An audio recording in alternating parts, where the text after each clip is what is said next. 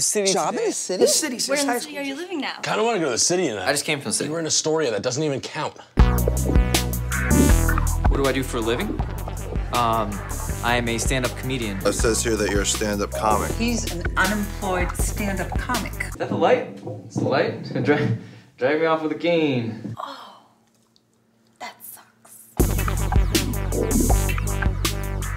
you guys want me to fill up your cups? Uh, uh, oh yeah. And that's the beauty of junior counselors. Not once did she question the practicality of my professional ambition. I actually just texted Hillary, come to Dilbers or I'll hang oh, myself. that's sweet. I forgot the LOL. Is that Oh. bad? We gotta get our backstory straight tonight. I'm a professional poker player. I am an entrepreneur who regularly appears in Newsday. And I will be a Chinese industrialist. No, Army veteran. No, Chinese industrialist, Army veteran.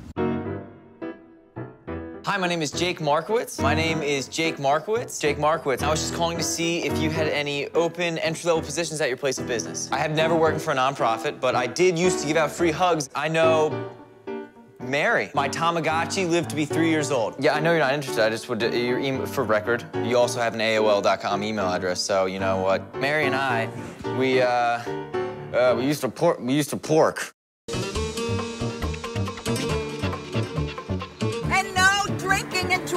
Okay? Okay. Love you, honey. Love you too.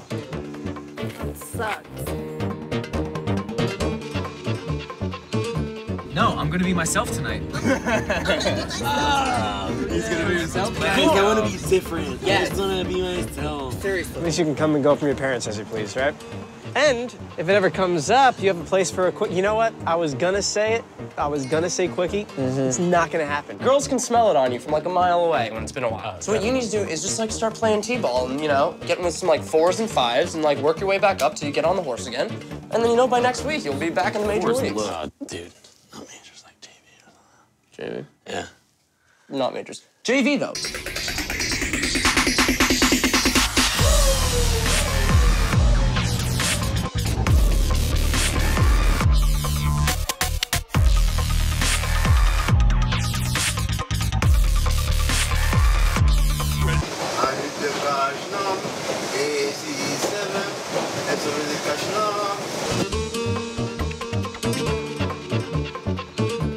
Come check out a show sometime.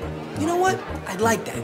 As a matter of fact, take my number down. I got the whole 212 area code and everything now, you know? Yeah? Doing it big. Know what I mean? How do you feel that a creative pursuit such as stand-up comedy will gel with the depressing life of a cold call? Well, nine out of ten times when I'm, when I'm on stage, I, I bomb. So it's bad. I just think I'm super used to the rejection. How long has it been since Michelle broke up with him? Oh, it's a oh, five. Oh, five months? Michelle and I broke up because it was just mutual. It was like a mutual thing. That's why we wanted to break up with each other. Mutual or not, dude, doesn't discount the fact that you pulled your shoulder last week jerking off. I want you to direct that one right there.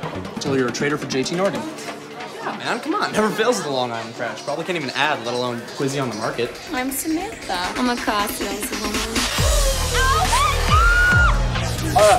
Oh my god, that's wrong to even by any standards. You British? You know, Jake, while we're being honest with one another here, I gotta tell you, I really, really don't think that this job is right for you. We still live at home. Sometimes I watch my mom's lapdogs when she's at work. Oh, man. That sucks. So you're basically unemployed and live with your parents. Yeah. What the hell happened to my car last night? Uh, what are you talking about? What car? What's what? It's fine. Oh, what the? What is that? I want you to do it. Just stick it in. Oh, what? you don't need that.